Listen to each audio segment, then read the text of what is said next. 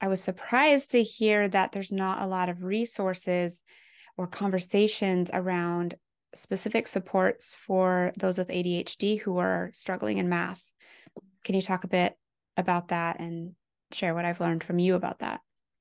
Yeah, I mean, just doing my general poll of talking to friends or clients of ADHD, a large number of them are struggling in math. And it makes sense because, you know, one thing our ADHD brain struggles with is executive functioning, you know, processing speed, working memory, focus and attention, organization, emotional regulation.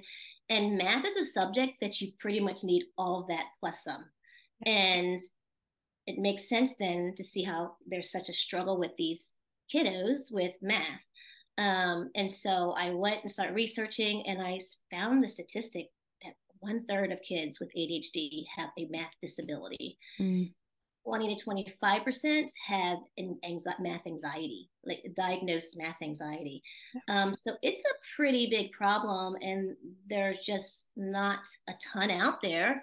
Um, so it kind of put me on this journey and connected me with you. And um, but yeah, it's it's surprising. It shocked me also.